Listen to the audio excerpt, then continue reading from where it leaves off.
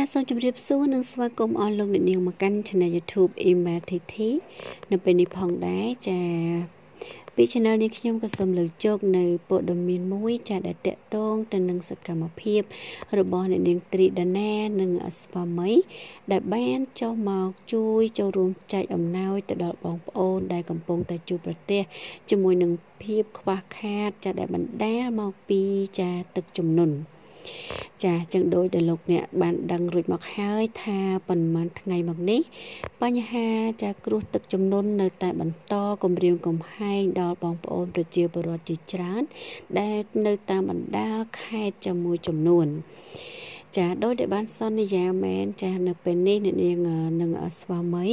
ចាគឺបានចុះមកដល់ខេត្តបាត់ដំបងហើយ ចានៅក្នុងនោះផងដែរចានៅលើអភេកផ្លូវការរបស់អ្នកនាងត្រីដាណាក៏បានចារៀបរាប់ជាមួយនឹងសារចាបញ្ជាក់ថានាងខ្ញុំនិងស្វាមី បានមកដល់ខេត្តបាត់ដំបងហើយនាំយកអំណោយ ដែលមានអង្គ10តោនមីម៉ាម៉ា60កេសធំ ស្មើនឹង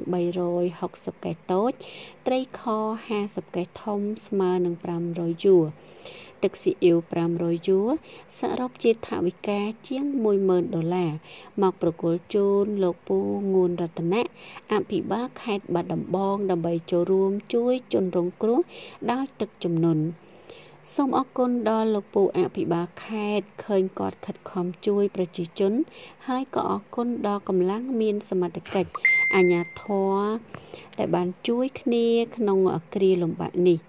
ព្រឹកនេះបានរួមដំណើរជាមួយលោកពូងួនរតនៈទៅចែកអំណោយជូនប្រជាជនផ្ទាល់ដោយនាងខ្ញុំបានបន្ថែមថវិកាមួយគ្រួសារ50000រៀលទៀតនិងបានចូលរួមបច្ច័យកសាងវត្ត1000ដុល្លារបន្ថែមនេះជាអ្វីដែលនាងខ្ញុំអាចធ្វើបាន អាចចែករំលែកតាមលទ្ធភាព នាងខ្ញុំនឹងបន្តរហូតតាមសមត្ថភាព និងធនធានរបស់នាងខ្ញុំ ចាអញ្ចឹងនេះគឺជាអំណោយដ៏ថ្លៃថ្លាមួយ សម្រាប់អ្នកនាងត្រីដាណា ដែលតែងតែចាបង្ហាញនៅរាល់សកម្មភាពល្អល្អក្នុងការជួយទៅដល់សង្គមជាច្រើន ចាហើយបន្ថែមលើសនេះទៅទៀតនៅរាល់សកម្មភាពល្អល្អ អ្នកនាងក៏ធ្លាប់បានបញ្ជាក់តាមរយៈចាសារនៅលើ Facebook Page របស់អ្នកនាងផ្ទាល់តែម្ដង ថាអ្នកនាងនឹងស្វាមីចានឹងត្រៀមថវិកាដោះទៅចា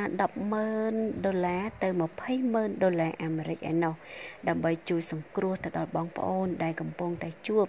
បញ្ហាទុក្ខលំបាកដោយសារតែគ្រោះទឹកជំនន់មួយនេះ នៅតាមបណ្ដាខេត្តមួយចំនួន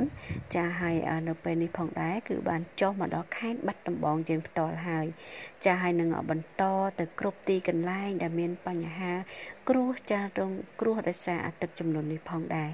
ចាទោះបីជាមានការនឿយហត់និងមមាញឹកនឹងការងារខ្លាំងយ៉ាងណាក៏ដោយប៉ុន្តែដោយសារតែក្តីអាណិតនិងការស្រឡាញ់បងប្អូនចាប្រជាពលរដ្ឋខ្មែរទាំងអស់គ្នា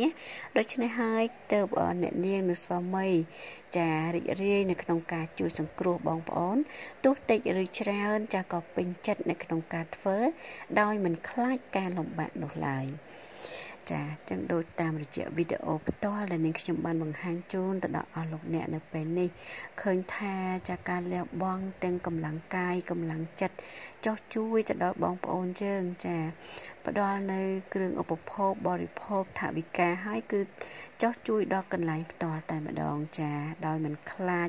ការនឿយហត់ចាក្តៅត្រជាក់